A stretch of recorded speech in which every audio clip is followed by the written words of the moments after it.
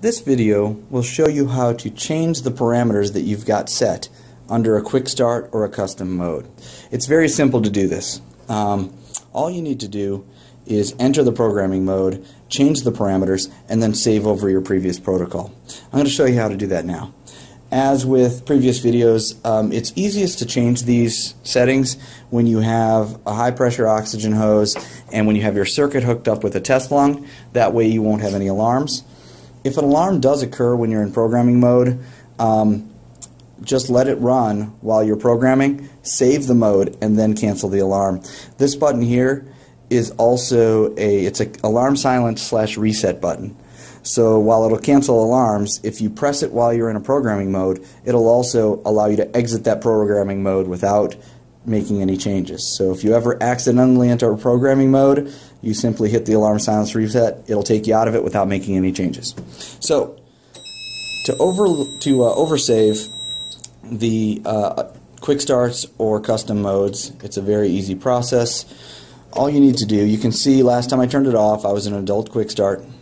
So I'm just going to move it out of that setting just to, for an example. Now we're no longer into that.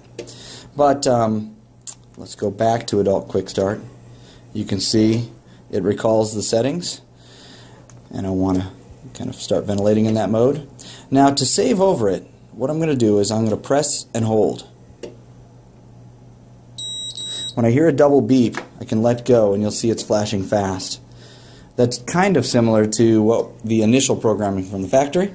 But when you're in this programming mode, now you can just change it to whatever settings that you would like to alter.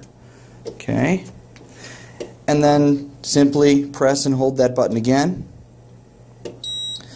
And you've saved the new protocol. So it is very easy to alter uh, what you'd like to use as your quick start mode. We can do the same thing in child. You can see these were the previously saved settings. I can come in, hold that button down,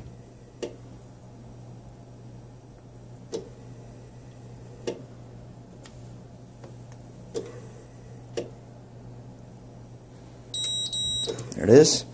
Hold that button down and then go ahead and change any of my settings. And really, you can change it to anything. So I'm just going to go ahead and put that volume AC mode. And then go ahead and save it. And what you'll note is, uh, let me go to just a different mode to show you the example. Um, let's just go ahead and make it something very different. Okay, so now we saved our child quick start, right? We moved that breaths per minute up. You can see it comes back and, and we've saved over the initial protocol. So making changes to your saved quick start settings and custom modes is very easy. Okay, so now we've covered how to overwrite the protocol in the adult and child quick start modes so you can save changing your settings that you'd like to save under those under those modes. Um, I'd like to go now through how to alter your custom modes. If you've already come in and set this up, again from the factory it's locked out, but once they've been saved once, it's very easy to go back and alter those protocols. Um, and I'm going to show you how to do that in custom mode now. So as you remember, or may remember when we were setting this up, we set adult custom, or the custom mode 1 up as a volume SIMV. You notice it just went back because it timed out. So you look at these settings. First thing you have to do is enter the mode. Once you've entered that mode, all you need to do to enter the programming mode to overwrite the program is simply hold that button down wait for two beeps, and now change whatever settings you'd like to change, whatever thing you wanted to alter. Let's say it was just a minor change. And then whenever you're ready, um, on the custom modes, you simply hold the custom mode selection and press mode selection. Hold and press. And now we've overwritten the initial protocol and saved the custom mode 1 as a revised protocol.